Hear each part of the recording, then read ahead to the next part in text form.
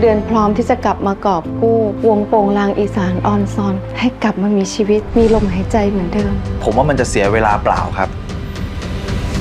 ไปทำตามความฝันเธอเพลง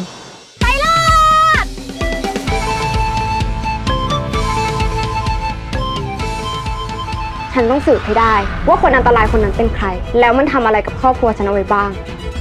ฉันอยากจะรู้ว่านางเพลงพินมันเกี่ยวข้องกับนางเพนอย่างที่ฉันคิดหรือเปล่า ฉันจะสืบหาความจริงให้ได้ เพลงเป็นลูกของใครกันแน่ หาทางกำจัดมันให้เร็วที่สุดโป่งหลางฮักออนซอน ทุกวันจันทร์ถึงศุกร์19นาฬิกา เริ่ม 10 เมษายนนี้ ดูทีวีกด 33 ดูมือถือกด3 plus